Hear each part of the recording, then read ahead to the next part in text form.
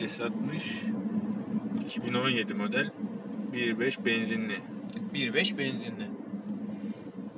i2V ile beraberiz. VGT testine daha böyle marşa bastık. Teste çıktık ilk adımlar. Evet. Şu an sürüş resmen değiştiğini fark ediyorum yani. Çok küçük bir dokunuştan 50'ye ulaşmış durumda.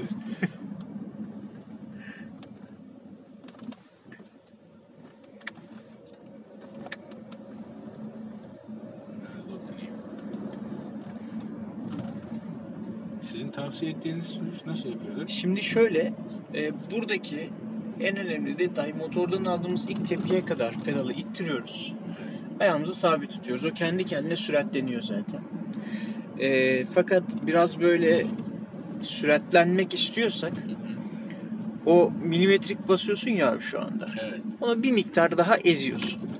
Ama yani yarıma doğru inmene hiç gerek yok. Çeyreğe doğru gelmen yeterli olur. Ve Şurada daha güzel anlarız.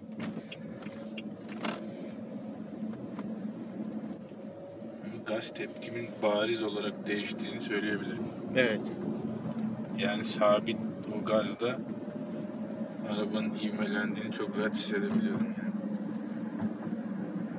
Peki şu an 50 ile gidiyoruz. İleride ışıkları gördük. Evet. Çek abi ayağını gazdan. Çektim şu an 48'i de çektim. Yolumuz da bozuk buna rağmen.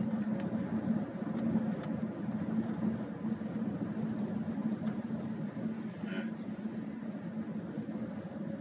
Araba bu kadar akar mıydı? Mümkün değil. Şu an çoktan 7-8-10 kilometre falan düşmüş olmalıydık. Değil mi? Aynen öyle. Yani. İleride frene basacağımızı biliyoruz. Daha fazla gaza basmaya gerek yok son ana kadar. Artık gazsız süzülme mesafesi uzuyor VGT'den Evet sonra. gazsız süzüldüğümü hissettim yani şu an. Süper. Ama ilk olarak o arabanın ilk kalkış tepkisi beni çok etkiledi diyebilirim. Süper. Şu an ne kadar basınç yapıyorsun?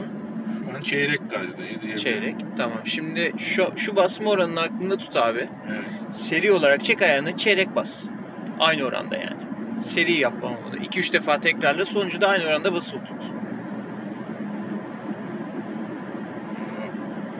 86, 87.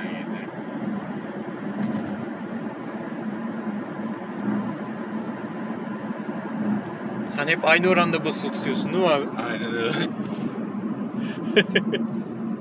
ne oldu bu arabaya? Araba güzel hızlanıyor. Değil mi? Yani şu an sürüşünden zevk almış Süper. vaziyetteyim.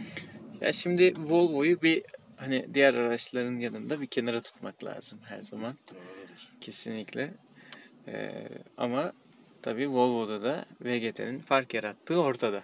Muhakkak bunu yani sürerken daha çok hissettim. Evet. Ama ufak şu ilk gazı vermesi çok hoş bir şey ya. Yani kalkışlar için daha öncesinde ne kadar basıyordun? Bu kadar az Ya basmayla açıkçası biraz daha fazla ittirip araba daha yüksek devirlerde topluyordu kendini. topluyordu kendini. Şu anda ufak bir gazda daha seri Evet. bir kalkış tepkisini alabildim arabadan. ya. Torku erken kazanmanın faydaları.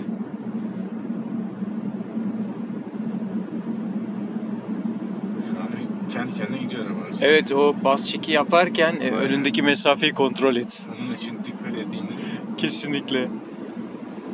Çünkü kesmez.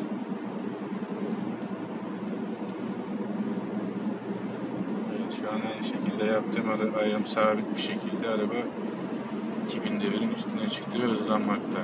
100 kilometreyi Buldu. o bulduk geçtik hala hızlanıyoruz. Ayağını gazdan çekmediğin sürece bu Aynen hızlanma öyle. durmayacak e, Aytu abi. Şu an 115 kilometre yaklaştık 2000 devirdeyiz. Sabit Ve aynı şekilde. oranda basmaya Aynen devam ediyorsun. Yokuş çıkıyoruz şu an. Biz çıkıyoruz çok bir güç kaybetmedik. Evet.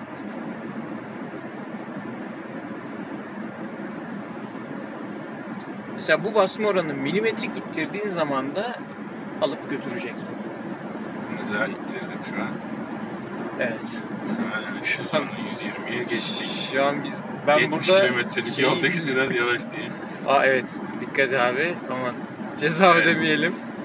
Arkadaşlar şehir içi hız kurallarına uyalım. Uymayanları uyaralım. Aynen. Halit abi lütfen yavaşlar mısın? Şu an 70'e doğru düşelim. evet o hissi yakaladım. Süper. Yani o bastik üç kere şeyi bir şekilde yaptıktan sonra arabanın bariz bir şekilde aktığını hissettim yani. Şimdi e, şöyle bir detay paylaşayım. Bas çek tekniği zaruri değil. Evet. Bu arabayı doğru süratlendirme ile ilgili, sağlıklı süratlendirme ile ilgili bir tavsiye. Fakat bas çek uygulamak durumunda da değilsin. Şunu da yapabilirsin.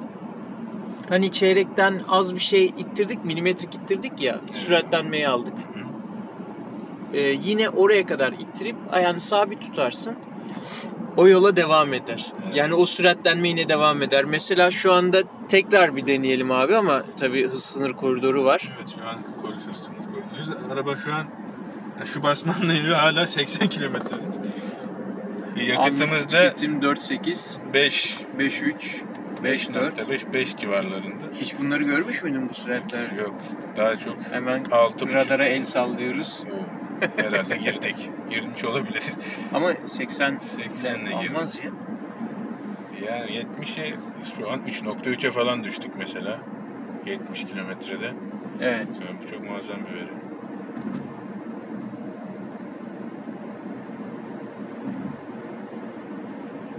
Bu verileri görebiliyor muydun?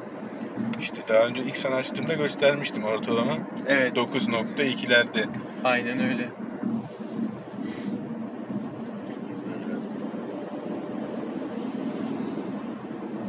Şu an tekrar sabit ayağım. Araba hızlanmakta halen. Evet şu an hiç ayağımı gaza bastırmamama rağmen hızlanıyoruz. 110. Hala hızlanıyoruz. 115. Ee, Bas çek yapmadın şu anda. Hayır, hiç sabit ayağın. yapmadım. Ayağım Evet. sabit 120 kilometredeyiz. Evet. Bu süratlere çıkman için daha önce daha mı çok basman gerekirdi? Şu sürati görmem için yarım gaz yarım gazı ve daha ilerisini basmam lazım. Yani araba 2000 devirde değil de Evet. 3000 3500 devirleri görürdü. Görürdü. Yani 2000 devirde bu hızlara ulaştığımı hatırlamıyorum. Süper. O halde VGT ailesine hoş geldin. Evet teşekkür ediyorum.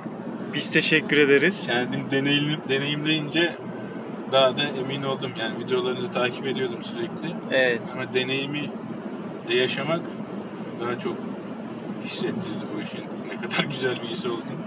Onun için ben size teşekkür ederim. Eyvallah ne demek. Düzce'ye de hoş geldiniz. Hoş bulduk. Hoş bulduk. Evet sevgili dostlar, Aytu abiyle Volvo S60 testimiz burada tamamlandı. Arna abi 70. Yakalanmayalım. Ya şu an gidiyor yani araba. Gerçekten gidiyor.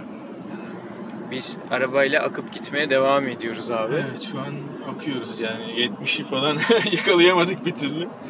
İnşallah ceza yemeyiz. İnşallah. evet sevgili dostlar sonraki videolarda görüşmek üzere. VGT ile kalın.